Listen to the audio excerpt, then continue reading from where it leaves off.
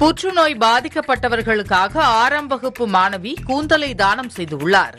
கர்நாடக மாநிலம் மங்களூரு நகரில் ஏக்கூர் என்ற இடத்தில் ஆறாம் வகுப்பு படித்து வரும் மாணவி தில்னா இவர் ரயிலில் பயணம் செய்யும் போது புற்றுநோயாளிகளை சந்தித்துள்ளார்